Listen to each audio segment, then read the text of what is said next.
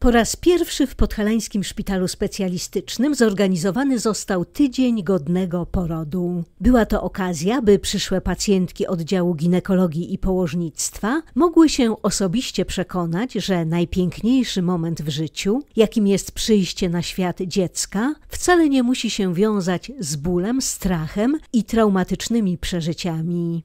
Wydarzenie miało też pokazać, jak zmienia się oblicze nowotarskiej ginekologii. Tydzień Godnego Porodu jest inicjatywą Fundacji Rodzić po ludzku. Na całym świecie Tydzień Godnego Porodu jest obchodzony już od bardzo, bardzo dawna. I ponieważ my chcieliśmy właśnie wyjść frontem do pacjentek, pokazać im, jak bardzo się dla nich zmieniamy, otworzyliśmy się na ich potrzeby, chcemy pokazać, co zmieniliśmy, to właśnie zorganizowaliśmy ten Tydzień Godnego Porodu. Spotkanie dzisiejsze ma na celu przygotowanie pań do porodu przygotowanie, pokazanie w jaki sposób mogą przygotować się do porodu, czego mogą też od nas oczekiwać, jak przygotować się do połogu, żeby to było dobre wspomnienie, żeby to, to, to przygotowanie do porodu było czymś, o czym później można pomyśleć uśmiechem, tak? Żeby można było to zaplanować po prostu. I dlatego ta inicjatywa po raz pierwszy w naszym szpitalu. Na takim spotkaniu w sympatycznej atmosferze ciężarne już stykają się z kadrą, która w czasie porodu i połogu będzie się nimi opiekować na oddziale. O to również nam chodzi. Chcielibyśmy, żeby pacjentki mogły nas poznać, żeby mogły zobaczyć położne, bo położne będą brały dzisiaj udział w tym wydarzeniu. Studentki, przyszłe położne, które mają u nas staże, również dzisiaj przybyły, żeby zobaczyć, żeby przywitać się z pacjentkami, żeby również brać udział w tej inicjatywie, ponieważ rozmowa i wcześniejsze poznanie się niweluje ten strach, który zawsze jest. Mm, odrobinę gdzieś obecny przy, tym, przy tych narodzinach, bo my wszyscy się boimy, tak? Zawsze się obawiamy miejsca, obawiamy się ludzi, no i przede wszystkim myślimy o tym, żeby bezpiecznie urodzić, tak? Bo to jest najważniejsze, żeby mama była szczęśliwa, żeby, żeby rodzina była szczęśliwa, to ten poród ma duże znaczenie, jak on będzie przebiegał. Dlatego chcemy Państwu o tym opowiedzieć. Każdy ogólnopolski tydzień godnego porodu ma jakieś hasło, jakiś wiodący temat. Tego roku był to koktajl hormonów. Poznaj przepis na dobry poród i połóg. Hasło miało zwrócić uwagę, że w tym szczególnym czasie organizm kobiety pozostaje pod silnym wpływem wewnętrznych biostymulatorów. Każda uczestniczka spotkania dostała pakiet informacyjny i kosmetyczny prezent. Zmiany, jakie od zeszłego roku zachodzą w nowotarskim oddziale z drugim stopniem referencyjności, są sukcesywne i uwarunkowane ogólnymi standardami, ale ich efekty już widoczne. Dla pacjentek, zwłaszcza przebywających na patologii ciąży, stworzony został przyjazny i kolorowy pokój dzienny z literaturą i zapleczem socjalnym.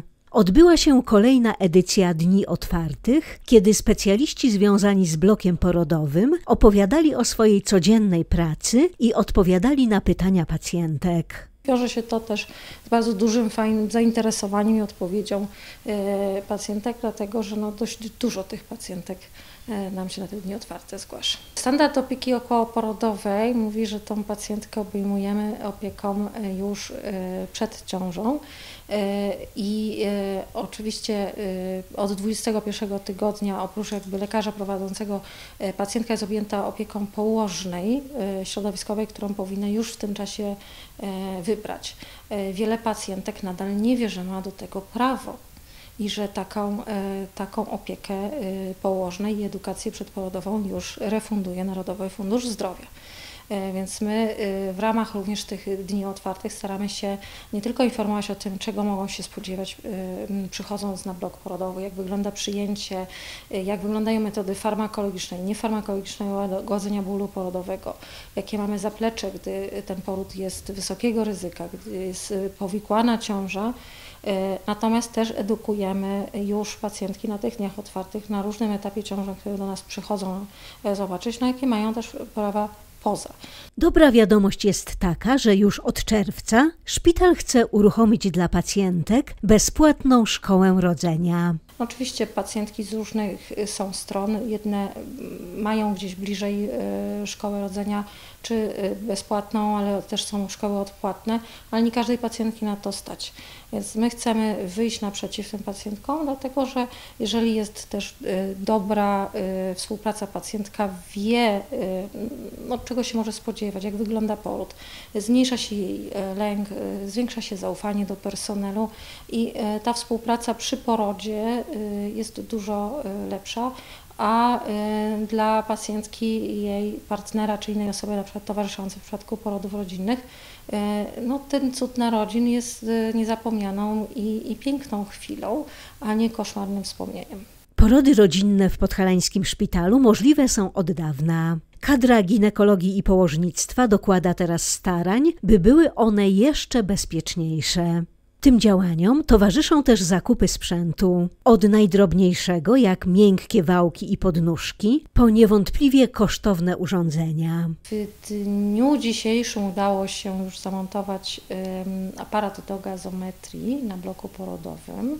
E, także będzie możliwość szybkiej diagnostyki e, już w warunkach bloku porodowego. Do tej pory wysyłaliśmy e, gazometrię krwi papilinowej do laboratorium, ale będziemy to mieć na miejscu. To też jest ważne, dlatego że można bardzo szybko diagnozować, gdyby było jakieś niedotlenienie u dziecka, zagrożenie, no to możemy tutaj wesprzeć kolegów neonatologów, tak aby to, to, tego noworodka jak najszybciej zabezpieczyć i, i zaopiekować się nim, e, tak aby, aby no, nie poniósł poważnych konsekwencji takiego niedotlenienia. To jest na pewno podniesienie dużego bezpieczeństwa porodu. Anestezjolog pracujący wyłącznie dla oddziału ginekologiczno-położniczego jest dostępny przez całą dobę. On jest tylko dla nas, co też daje e, szansę, aby każda pacjentka E, która się kwalifikuje do znieczulenia porodu, to znieczulenie porodu otrzymała.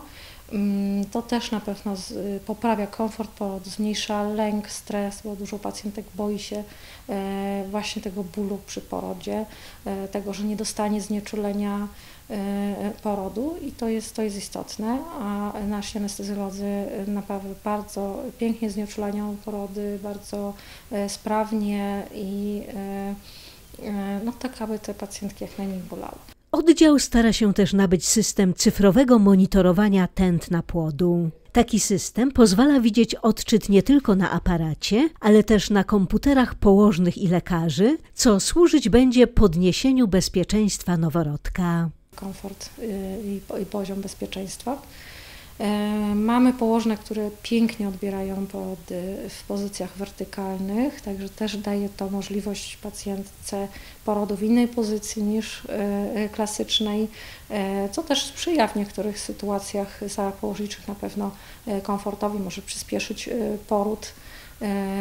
Także tutaj to też jest zaplecze. Staramy się też uruchomić porody do wody. Teraz będzie 7 czerwca szkolenie. Mm, przyjedzie do nas e, też e, e, pani, pani doktor, która prowadzi tego typu z Bielska Białej też porody i, i szkolenia z porodu wody wraz z położną, także no, staramy się wykorzystać to zaplecze, które mamy, bo, bo wanna była obecna, natomiast no, te porody jakoś tak były krótko, a potem wiele lat nie było a jest zainteresowanie pacjentek i, i wiele szpitali, chociażby szpital Ujazdyk w Krakowie, e, te porody e, do wody e, prowadzi.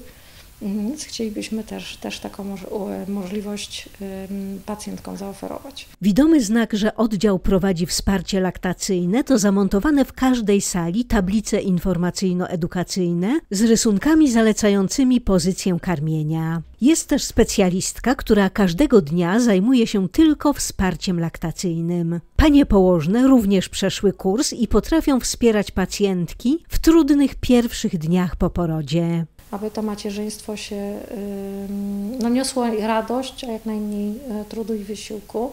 Chcielibyśmy również uruchomić punkt laktacyjny, taki konsultacyjny.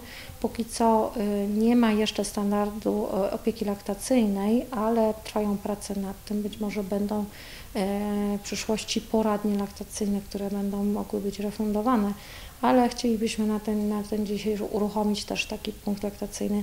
Mamy trzy położne, które są certyfikowanymi doradcami laktacyjnymi i, i bardzo chętne są też do wsparcia, poza inne też położne jak najbardziej również. No, chcemy to wykorzystać, ten potencjał ludzki, chęć dzielenia się wiedzą dla dobra pacjentek. Ponieważ przyszłość należy do leczenia endoskopowego, a oddział dysponuje tylko dwoma histeroskopami, toczy się właśnie postępowanie przetargowe na zakup kolejnego sprzętu. Laparoskopu z manipulatorami, który pozwala na mniej inwazyjne zabiegi, leczenia i usuwania macicy oraz dwóch mini histeroskopów z dużo mniejszą średnicą, e, która, no, której możemy więcej tych takiego typu zabiegów endoskopowych u pacjentek e, robić bez konieczności rozszerzania kanału szyjki macicy. Także zakupiliśmy też e, tutaj takie rogale do karmienia dla pacjentek, które ułatwiają te pierwsze przystawienie, ułożenie się w odpowiedniej pozycji do karmienia.